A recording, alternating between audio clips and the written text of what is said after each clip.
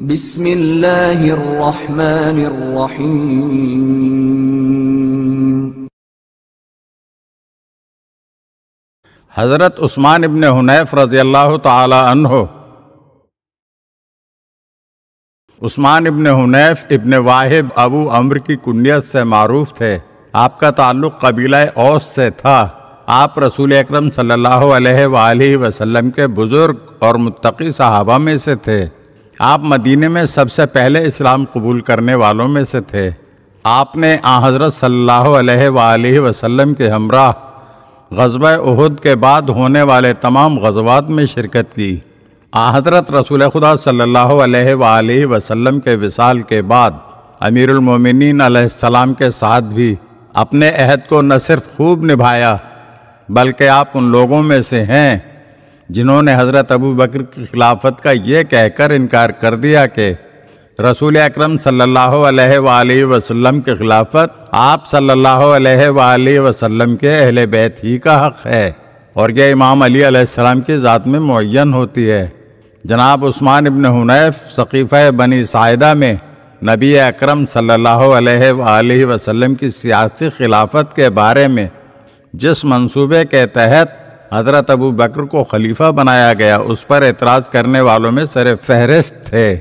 आपने बरमला रसूल खुदा सल्लल्लाहु अलैहि वसल्लम के इस फरमान से इस्तलाल किया कि हज़रत ने फरमाया, मेरे अहल बैत ज़मीन वालों के लिए सितारों के मानंद हैं।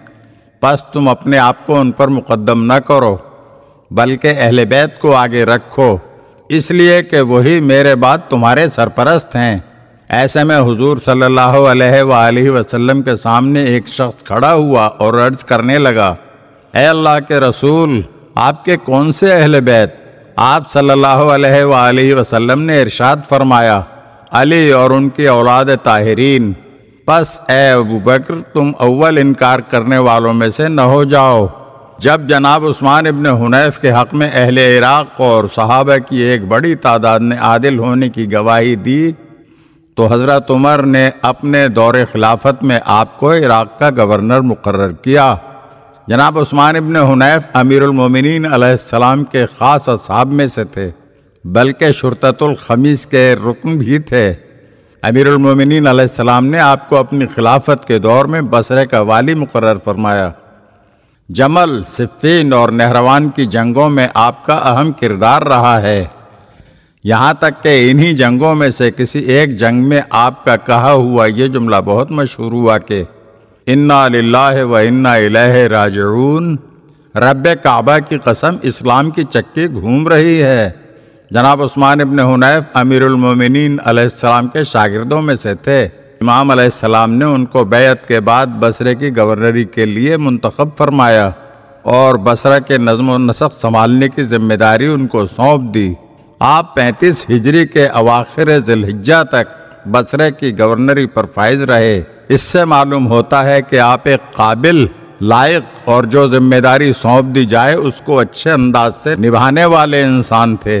इसलिए गवर्नरी के लिए अहल आदमी थे, क्योंकि सदर इस्लाम में जिहाद के मामले में आपका किरदार बड़ा शानदार रहा था। चुनाचे फितने नाकसिन को नाकाम करने में भी आपने उनका खूब मुकाबला किया। जब नाकसिन यानी तलहा और ज़ुबैर जैसे बैत शिकनों ने बसरे का मुहासरा किया और आपको हथियार डालकर शहर से खारिज होने के लिए कहा तो आपने उनका मुकाबला किया और शहर का दिफा किया। उनके साथ कोई सुलह नहीं की।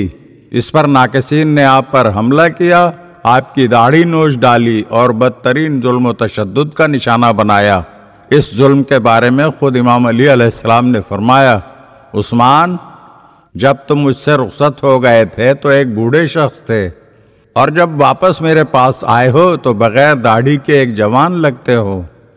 रिवायत में है कि इमाम अली सलाम को जब ये खबर पहुँची कि तलहा और ज़ुबैर ने बसरा पर चढ़ाई की है और हकीम इब्ने जबला और उनके साथ कुछ और लोगों को भी कत्ल किया है, नीज़ उस्मान इब्ने हुनैफ को जदोकूब किया है, बसरा में बैतुलमाल के निगहबानों को भी मारा है।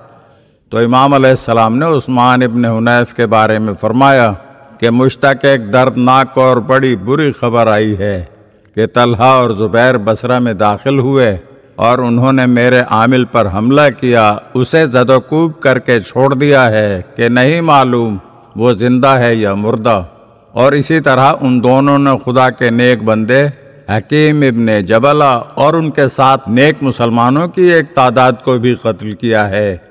उन्होंने अल्लाह से इस हाल में मुलाकात की है कि अपनी बैत का हक अदा कर दिया। अपने हक पर कायम रहकर चले गए। तलहा ज़ुबैर ने मुसलमानों के बैतुलमाल के ख़जानादारों को बुरी तरह से धोखा देकर कत्ल किया है। उस्मान इब्न हुनैफ ने अपनी वफात तक अलैहिस्सलाम से अपने किए हुए अहद की वफा में हर मुश्किल और दुश्वारी को खंदा पेशानी से बर्दाश्त किया। यहाँ तक के इकतालीस हिजरी या उसके करीब में इस दुनिया से रुखसत हुए। आपके जनाजे को शहर कोफा मुंतकिल कर दिया गया और वहीं पर आपको दफना दिया गया। अगर आप हमारे चैनल की नई वीडियोस देखना चाहते हैं तो हमारे चैनल को सब्सक्राइब करें और घंटी के बटन को दबाइए ताकि हर आने वाली वीडियो आपको जल्द मौसूल हो सके। और हाँ लाइक और शेयर ज़रूर कीजिए। और अपने कीमती कमेंट से हमें आगाह कीजिए। शुक्रिया।